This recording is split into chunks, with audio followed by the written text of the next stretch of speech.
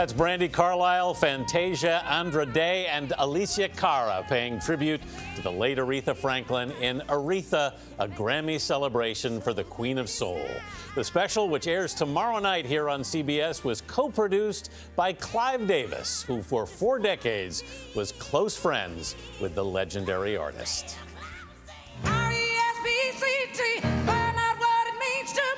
Aretha Franklin already had a decade of hits behind her when she met Clive Davis in 1979. Where's this taken, Clive? At the Beverly Hills Hotel. So this is literally the beginning of your friendship. Yes, it was. Davis, a veteran record executive, was then running the Arista label.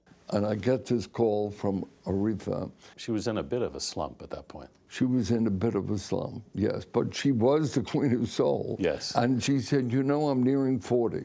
Mm-hmm. And I'm nervous that, you know, can I have hits after 40? I said, listen, to me, you're timeless. So Davis signed Aretha, and in 1982 helped her jump back on the charts with Jump to It. She ran scared, like all great artists do. Mm-hmm. She got nervous. She was a perfectionist. When she came to the studio, she knew every line. She would only do three takes. Yeah. I mean, no other artist does fewer takes than what Aretha did.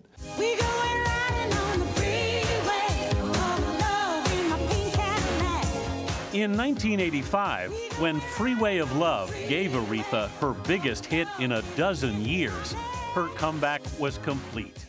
Davis, who's never liked business dinners, always made an exception for Aretha. I too always knew that Aretha was history, and I just knew that as much as we could share, soak up, and um, it was special. I just felt special.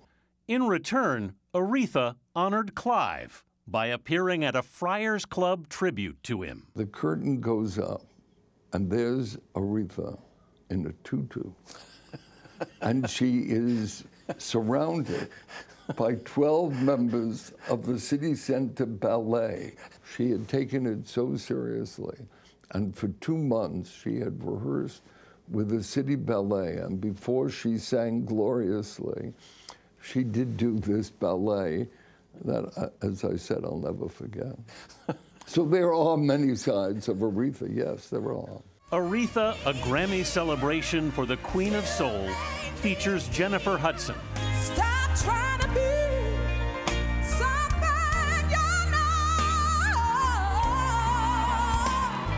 And John Legend.